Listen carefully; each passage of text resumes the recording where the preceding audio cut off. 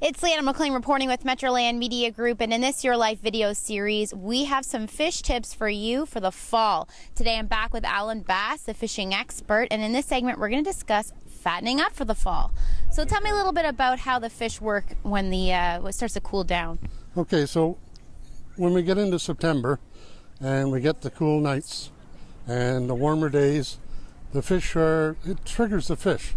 The fish don't think, well, I better eat they are just instinctive creatures. So when they feel the cooler water, the cooler air, uh, they starting to they start to feed voraciously because they know when they get into the winter, we get the ice.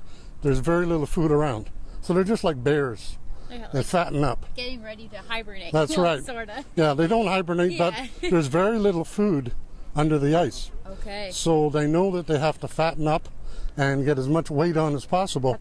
So you get into September and October, and uh, you know the the, the fish instinctively know they have to feed. So would you say then this is a great time to go out fishing then, since you know they're going to bulk up? That's right. Okay. Now, of course, all the fish won't be feeding at the same time in the lake, but when you find a, a pot of fish feeding, they will feed for two or three hours at a time. Wow. Okay. So, you know, you could catch your biggest fish in the fall. All fish, uh, whether you're you're after crappie or or you're after muskie or pike or bass or walleye, they all have to feed voraciously in the fall to fatten up for the winter.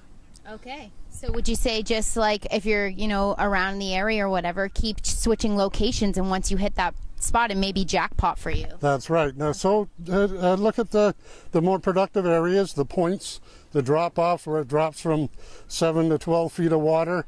Uh, the ledges, they'll be along the ledges, waiting for their prey. Uh, they'll be along the shoreline in some cases, uh, trying to uh, push the fish up onto the shallower water so they can feed. Okay, and that's where the hydrographic chart comes in again, right? Always That's look right. at your map. That's right. Always look at your map.